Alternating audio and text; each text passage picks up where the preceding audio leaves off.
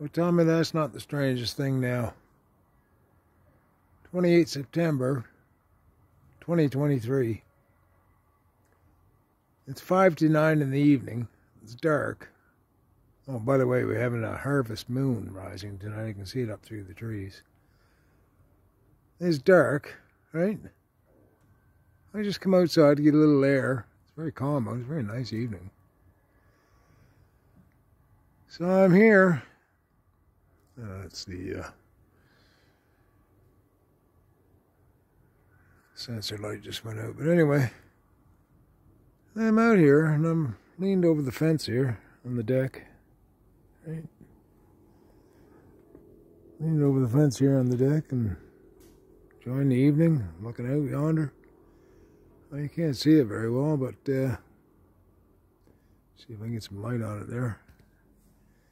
Big oak tree, eh? Big ass oak tree here in our side yard. You might have seen it in some of the other videos. Anyway, I'm looking at the oak tree.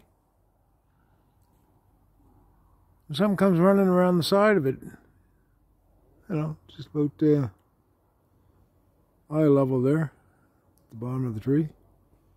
There's a chipmunk. The chipmunk comes running through the grass like he's running for his life. He's got a hole right over here. He comes running over. Starts looking for his hole. Kind of freaking out for a moment there, thinking that he couldn't find it.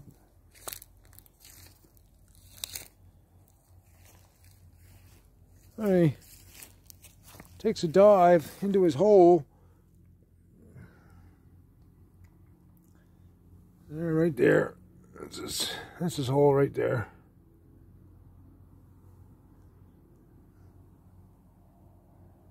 Got his ass up in the air and plunges into his hole.